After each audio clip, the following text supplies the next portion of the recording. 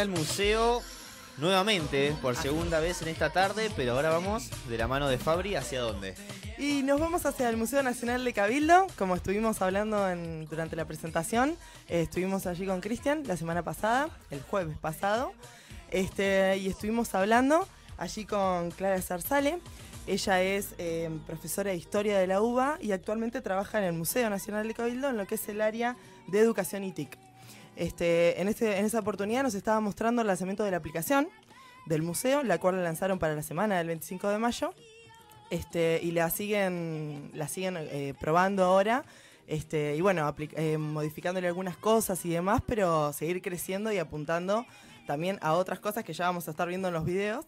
Este, mm, pero fue muy interesante porque mm, eh, hay una oportunidad, la aplicación se puede descargar de manera gratuita y como podemos ver que ya van a estar, vamos a estar pasando algunos videos de eso, el tema de la realidad aumentada, que era lo que más llamaba la atención y lo que más eh, gustaba, digamos, al público. Así que si quieren podemos ir con la- el primer video Dale. este, para presentarla a ella también. Eh, buenísimo, estamos, eh, con Cla- estamos en el Cabildo, el Museo Histórico Nacional, con Clara, del área de educación y tecnología. Exactamente, y vamos a estar charlando sobre una aplicación única en el, el país, verdaderamente con uso de más tecnología, pero vamos a estar charlando de a poco.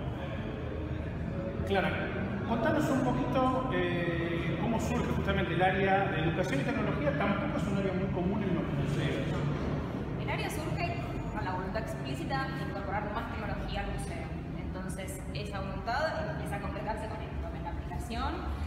La idea es, por un lado, poder acercarse a otro público. Un público adolescente, joven, que el museo no viene tanto, en general en las escuelas primarias. La idea es poder acercarnos a ese público. Y por otro lado, permitir que el museo esté en las escuelas, que esté en otras provincias que por ahí no pueden venir a visitar el museo, pero pueden acceder al material. Por eso, en esa lógica pensamos la aplicación. Una aplicación usable desde cualquier lado y que tenga un montón de información. Exacto, está toda, la, está toda la información, veníamos recorriendo un poco y ya nos estaba contando Clara algo, y, y tenemos disponible mucho de las- los textos de sala Exactamente. y otras capas de información también. Exactamente, la idea fue pensar, bueno, seguro los textos de sala, aparte están traducidos al inglés y al portugués para los visitantes extranjeros. Y además tenemos eh, información. En cada sala hay algunos objetos seleccionados los que les agregamos.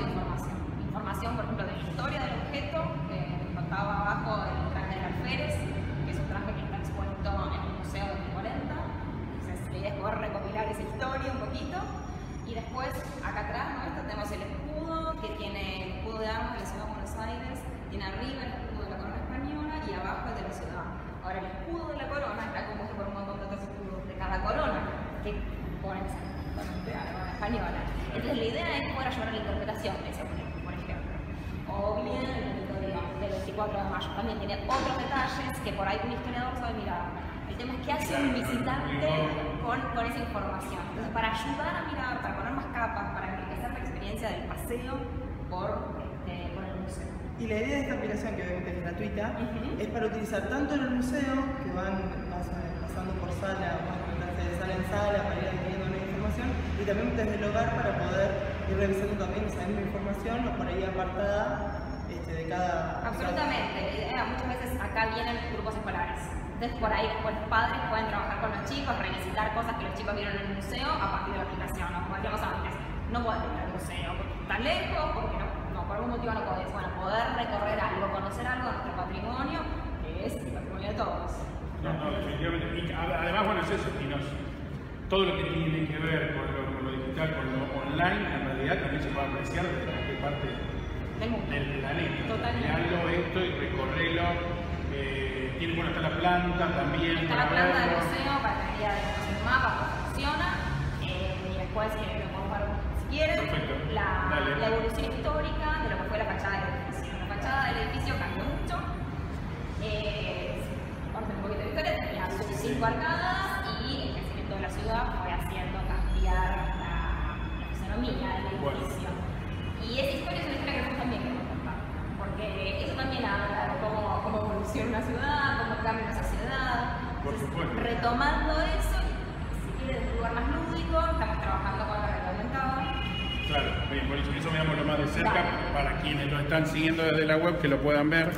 Para que te sostenga. Dale, la realidad aumentada funciona así. Esto es un patrón y lo que hay que hacer es con la imagen descargada, enfocas con la cámara y a medida que cambias las fechas, los años, vas viendo qué cambios hubo en la fachada del edificio. Acá, por ejemplo, tenemos las cinco arcadas y del otro lado quedan solo dos. Esas dos que quedan son las de construcción de Avenida de Mayo. Acá cuando vas a hacer una cajita de zapatos le decimos, porque perdió otras arcadas, las, las de Diagonal Sur y también la torre, porque había temas de ingeniería, ver si sostenía o no se sostenía la torre. Y este es como lo conocemos hoy en día, la fachada del cabildo que conocemos actual, que si nos acercamos hasta podemos ver sus este, ventanitas verdes, el reloj, el campanario. Que esperemos no se achique más tampoco. No, no, no, esperemos que ahora dejémoslo así. Ahora, ahora dejémoslo así. Dejémoslo quietito. Bueno, y otra de las cosas eh, que me parece súper interesante, que también la hacen distintivo, entre las pocas aplicaciones que puede haber en el país, por lo menos, eh, pero me diría, a nivel internacional también, no es que no lo haya, pero en otro lugar del mundo, pero el uso de los beacons. El uso de los beacons. Los beacons son una especie de palizas, es como el término en Claro, español. sí. Eh, los beacons son unas, unos pelotitos así que se pegan en distintos lugares. Recorres el museo con el Bluetooth activado y van llegándote señales a medida que circulas por el museo. La idea es que no tengas que el celular para ver qué me pasa, para ir buscando el objeto, sino que te lleguen las señales y las señales te inviten a mirar el celular. Pero después puedas seguir paseando, leyendo el texto, circulando sin mayor distracción. Por eso que decimos, bueno, hay gente que este, por ahí se baja la aplicación y no quiere mirar todo. Y no, No, tiene claro. por qué mirar todo, ¿no es Claro. Cierto? Claro, porque por ahí en, en la recorrida hay cosas que llaman la atención que están por fuera de la aplicación. Entonces dejar esa libertad de visitante. Exacto, para que pueda elegir qué ¿Qué miro? qué ¿Qué no no, y demás. Pero está bueno que te vaya apareciendo esa información según va. Por ejemplo, en esta, ¿en qué sala estamos? ¿Cómo- Estamos en la sala capitular, que es la sala principal del museo, la más importante, porque acá se formó, firmó la primera junta. Acá tenemos como objetos destacados el 4 de mayo, que es el petitorio que, digamos, propone con claro. amenaza implícita por la Junta que se tiene que conformar, y es muy interesante ver las firmas, digamos, ¿no es cierto? Ahí son todas las firmas que son bien elaboradas, mostrando que gente de BIT con formación, con educación, y también la firma de French y que firman por mí y a nombre de 600, mostrando la participación popular. Claro. Entonces, y después, esta sala tiene la particularidad de ser la más importante, pero muchas veces entonces también incorporamos un videito de una recreación de 1909, de la Revolución de Mayo, señalando que esta sala, esta sala capitular donde se formó la primera. Ese video está en Este la- video está la incorporado en la aplicación también. Y es aquel. No, eso es un touch diferente. Eso, Eso es otra otra, información. otra información. La idea, digamos, los proyectos que tenemos como área es incorporar más touch, incorporar más videos y armar más la tecnológica más. Ahora vamos a hablar de eso, ahora vamos a hablar de eso también. Pero la, sí, pero la pregunta es entonces, ¿la aplicación tiene contenido que está solo en la aplicación, además del contenido que encontramos recorriendo el museo? Exactamente, o sea, vos venís y ves a las guías, que la guiada, tenés una información. Le podés preguntar, le podés preguntar tus dudas. Venís, tenés todos los textos del museo, tenés una información. Tenés descargada la aplicación, tenés un examen. Apuntamos a, a algunos detallecitos, algunas cosas que no se saben, no conocidas, como les decía antes, a poder facilitar la lectura de un objeto. O sea, también ayudar en ese recorrido. No, está perfecto. Y, y no, y no quedarnos con una posible experiencia, porque el visitante, justamente lo que hablábamos antes, puede tener, según cómo sea el visitante, distintas, distintas experiencias. Y acá nos apoyamos en la tecnología que nos parece como, Como un nexo, un nexo entre el visitante y el museo. O sea, algunos visitantes, ¿no es cierto? Eso de vuelta. Claro, claro, claro. Pero algunos visitantes. ¿Tienen, digo por las dudas, porque sí lo he visto en otros museos, algún tipo para aquel que no tiene el teléfono o algo, decir, bueno, te damos. Todavía no, No, pero bueno. la. Está genial. Sí, sí. Para, para para la Para el que viene y no tiene nada, pueda. Está muy bien. Y si no te la descargas, ¿cómo después la vamos a poner nosotros en las redes sociales? la Exacto, ¿cómo? Pero la descargas en el- Google Play, por ahora está Museo Nacional del País.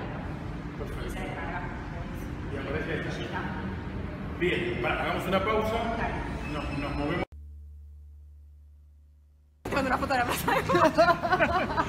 Bueno, seguimos, estamos ahora en el balcón del Cabildo y nada, detrás de esa neblina y esas luces que se pueden ver en, para los que lo están siguiendo por borderixbahía.com, la Casa Rosada.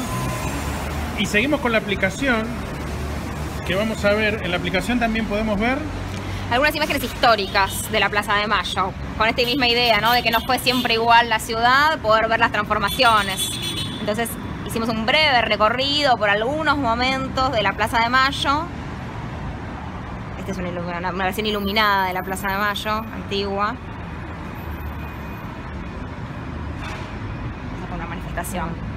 Y esta misma funcionalidad está para la catedral, que la tenemos del otro lado, la otra arcada. Claro. La, la idea de vuelta es, esto es algo que uno no conoce, sino que no lo ves. Este, para quienes tenemos en la cabeza Plaza de Mayo, porque miramos mucho archivo, lo Tal conocemos. cual, claro. sí, pero, Pero digo, acá había una recoba, esto eran dos plazas separadas, atrás Plaza de Mayo era un fuerte, ha cambiado mucho Claro. la fisonomía. mucho. Entonces Sí, está bueno poder está bueno.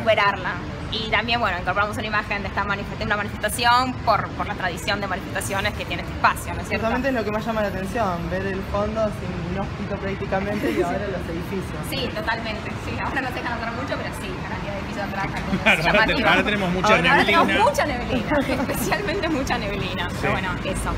Y ya que estoy, que te veo que tenés en la mano otra vez la. Que otra vez no, nunca la dejaste de tener, la de para la, Realidad aumentada. para la realidad aumentada. Hablábamos recién que la podemos descargar. El, Efectivamente, el patrón este está subido a la página del Cabildo. Entonces, es simplemente ingresar al link que propone, descargarla e imprimirla. Blanco y negro, no hace falta que sea color y directamente con eso ya podés enfocar. Lo que tienes que hacer es, ingresando en la aplicación, tardar en hacerlo. Bueno, otra, espera. Y editar. y los, los problemas de la tecnología. y editar. Siempre pasa, esto pasa. Ahí está. Ahí está. Dentro de la aplicación, en el menú, aparece realidad aumentada. Bueno, realidad aumentada, tarda un poquito en cargar y te habilita la eh, cámara, que es lo que veíamos antes. Exacto, Cuando te está. habilita la cámara, con el patrón enfocas. Desde ahí es que puedes ver la realidad aumentada. Excelente, Muy bien. excelente. ¿Qué más, muchacho? No, pero- Bueno, entonces seguimos. Vamos a, a entrar en una de las salas y ver cómo, cómo se dispara también el Beacons. Y mientras tanto vamos viendo que tiene muchísima información. Efectivamente, una- esta es la sala de la crisis imperial que trata de contar un poco de este momento, de las invasiones inglesas. Las invasiones inglesas es un proceso complejo, entonces decidimos hacerlo un pequeño audiovisual. Hay un texto explicativo inicial y te propone mirar el video y enterarte más. Este es el video. Tiene un sonido.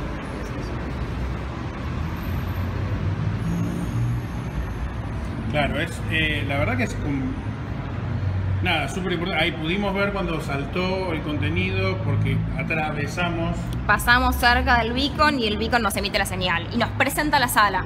Nos digamos. presenta- exacto. Esa también es una, una de las cosas que nosotros buscamos, que nos ayude a trabajar el guion de- del museo. Porque esta sala, justamente, también hay cuestiones de espacio, ¿no es cierto? Que, que o- ar- ar- hace pensar la museología, ¿no? La sala cuenta, por un lado, invasiones inglesas y por el otro, el Cabildo Abierto el 22 de mayo, de 1810, o sea, Claro. cuatro y tres años después. Entonces, ¿cómo, ¿cómo hacer que la gente primero piense sobre invasiones inglesas y después, después- piense sobre el 22 de mayo? Claro. Con esa lógica dijimos, bueno, que el bico te salte ni bien atrás, dándote la información de invasiones inglesas. Y después, Perfecto. cuando circulás, te aparece el Cabildo Abierto del 22 de mayo. Y ves ese debate que fue ese Cabildo Abierto.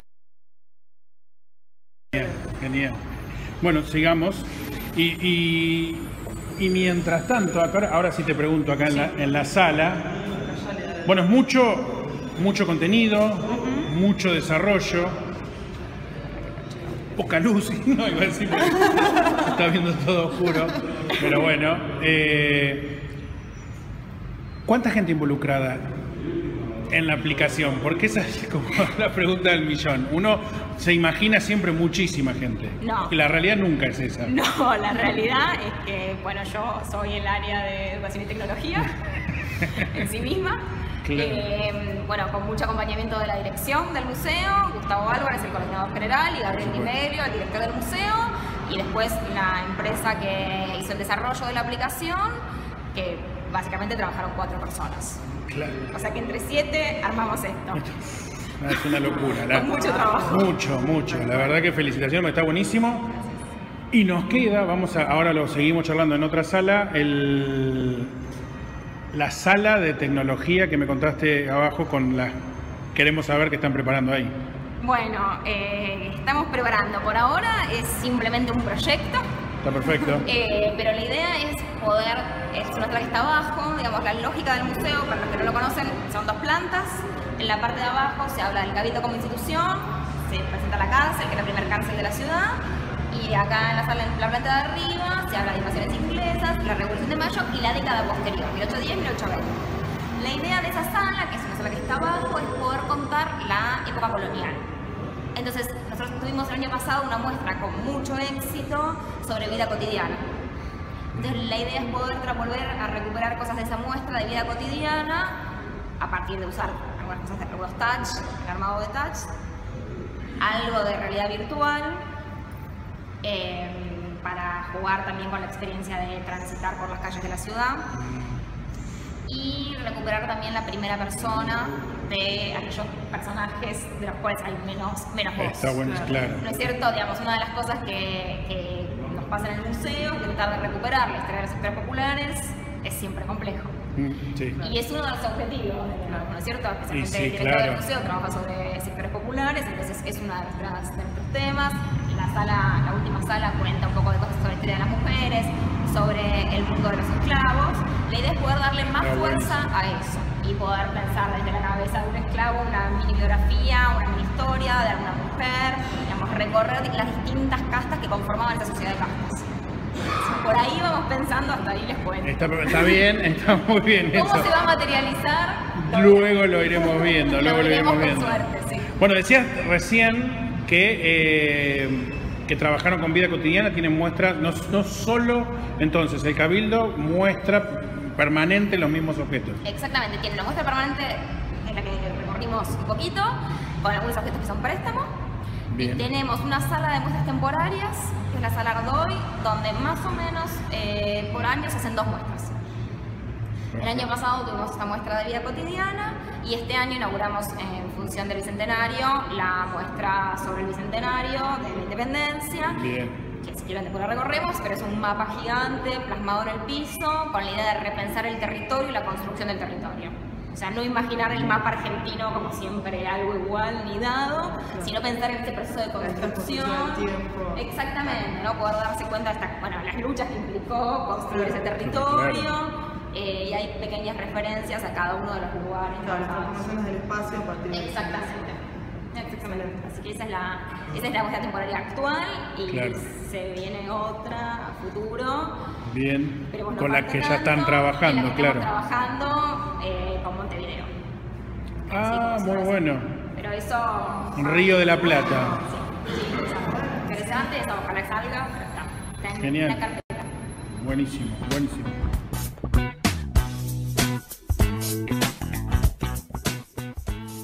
Bueno, hoy estuvimos hablando con Clara Zarzale del Museo Nacional del Cabildo, del área de, de Educación y TIC. Como pudieron eh, los que nos están siguiendo a través de la web mirar la, la entrevista, muy interesante de, de la aplicación. Cuando vas al museo, justamente eh, para ver la reglamentada, es esto lo que te entregan.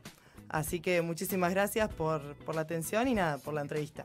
Eh, también que comentar un poco, si bien se, se vio y se habló durante la entrevista, eh, de que se realizan visitas guiadas en el museo eh, y que son información aparte de lo que brinda la aplicación. Así que, bueno, ahora la vamos a estar pasando y nada, me dejaron sola acá. Se, se fue Jonah, se fue Dani, Cristian no está. Así que, bueno, los dejo mirando eh, un pequeño video de visitas guiadas del museo. del territorio a partir de, de ese momento y en forma continuada.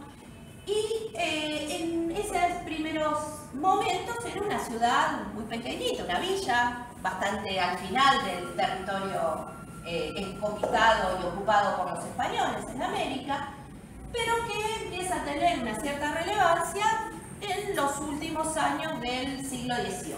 Estoy pensando alrededor de 1770, algo así como para, para que todos se en ese sentido, ¿por qué empieza a tener importancia? Porque hay un cambio dentro del, imperio español, eh, los borbones hacen todo un proceso de, de, llevan adelante un proceso de modernización y en ese sentido Buenos Aires se va a convertir a partir de 1776 en un puerto importante. Y un puerto, además, no solo un puerto importante, sino en la capital de un nuevo virreinato. O sea, Buenos Aires, todo esto que en algún momento se va a convertir en la Argentina que hoy conocemos, eh, se convierte en el, y, algunos territorios vecinos también, se convierten en el virreinato del Río de la Plata, separándose de ese lugar que era el punto más importante en esta parte del, mundo, que era Perú, uno de los vecinos patricios de, la ciudad, era propietario de esclavos, pero que además se ocupaba de este comercio de esclavos, porque se ocupaba de los otros comercios de, bienes que, manejaba. Pero fíjense que inclusive tiene su cuadro aquí en el Cabildo, y era funcionario del Cabildo, fue funcionario del Cabildo. Porque en el Cabildo, probablemente ustedes lo sepan, era un lugar donde había una forma de representación política que tenían los varones, que eran propietarios y que en general eran o españoles o, hijos de, o hijos de españoles. O sea, un, pequeño grupo dentro de esa población que vivía en Buenos Aires tenía representación. En ese cabildo había un defensor de pobres, ¿sí? había alguien que se ocupaba de todos los que no tenían voz habilitada socialmente y eh, fue eh, defensor de pobres. Lo cual nos está mostrando, o a mí por lo menos me hace pensar varias cosas, ¿no? Porque entonces no podemos solo ubicarlo como un amo de esclavos.